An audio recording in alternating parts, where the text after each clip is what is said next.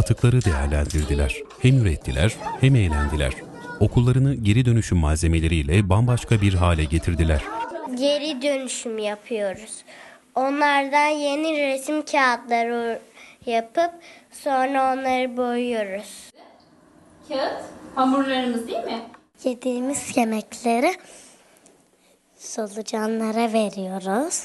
Sonra da solucanlar da toprağımızı yapıyor.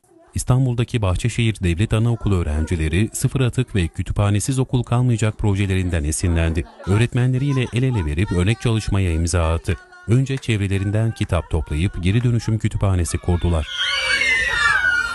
Miniklerin çalışması kütüphaneyle sınırlı kalmadı. Atık kağıtların geri dönüşümü için atık kağıt atölyesi kurdular. Kağıtları geri dönüştürdüler. Resimlerini bu kağıtlara yapmaya başladılar. atıl durumdaki kağıtları nasıl hamura dönüştürdüğümüzü, daha sonra onlarla nasıl kağıt yapabildiğimizi ve daha sonra onlarla resim yapıyoruz. Tamamen atıl durumdaki olan kağıtlarla bir sanata dönüştürüyoruz.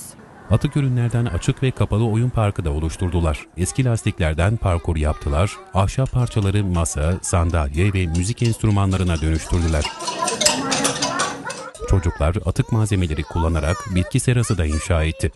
Bahçede palmiye ağaçları vardı ve biz onları bir AVM'nin kullanılmayan atıl durumdaki olanları gördük. Onlardan rica ettik. Burada çocuklarımızın fiziksel aktivitelerini, psikomotor becerilerini e, geliştirmek amacıyla kullanıyoruz.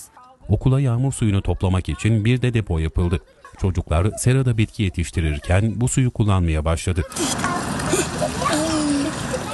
Çocuklar bahçeye atıklardan böcek oteli bile yaptı. Bu oteli yaparken de inşaat malzemeleri, kozolaklar, tuğlalar ve kütükler kullanıldı. Çocukların buradaki amacı ise bahçedeki böcek çeşitliliğini artırmak.